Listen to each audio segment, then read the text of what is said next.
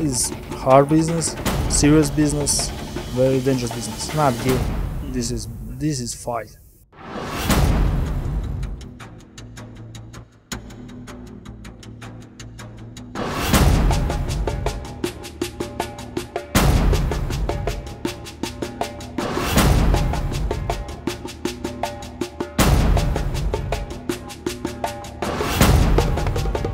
every day hard work you know because i understand my situation.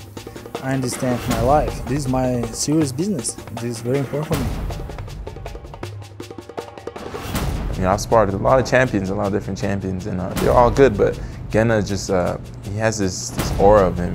Every day is a hard hard day on the job. I like sparring you know just every day every sparring hard. He's very consistent on how quick he gets to a point where he's getting sharp uh, where he sees everything, where he understands everything, and, and when he's working on the things that I want him to work on.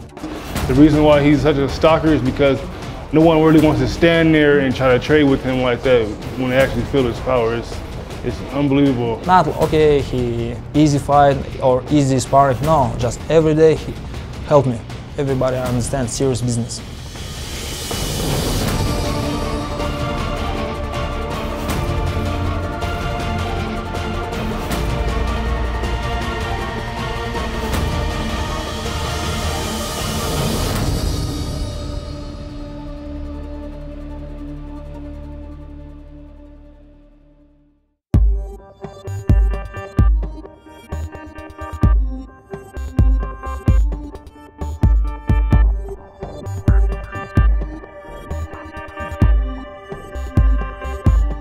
I respect my sparring partner. My like my family, my friends. It's a great feeling, actually. You know, me as an up and coming fighter, um, to being able to be in a camp with a world champion. You know, I get to learn a lot. You get to be just in a an aura of hard work and you know and just building in your craft. You know, being G's main sparring partner, it's, it's just it's amazing the, the things you learn, the things you can pick up. Gennady, going back to your work today, today you sparred six rounds, three rounds each with David Imoesiri, and then three rounds with Julius Jackson. These, yeah, these guys are big guys. Uh, do you ever feel their strength? Julius, he's great fighter, you know. Just today he's 180. Just I'm little slight, like my position, my situation, you know, like my timing, my speed. That's very important for me, for my strategy.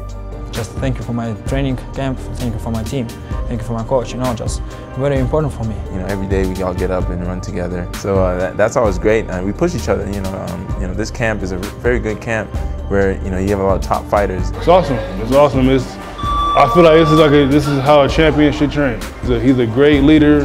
And that's the best way to be a leader, if you ask me. It's just, you know, at the end of the day, greatness just it just requires sacrifice and work ethic and being a real man, you know, and just taking care of what you're supposed to take care of. He's an animal, man. He, he can go and go and go. Because I want to be on that level, so, you know, I stay focused too and, and, and work the same way.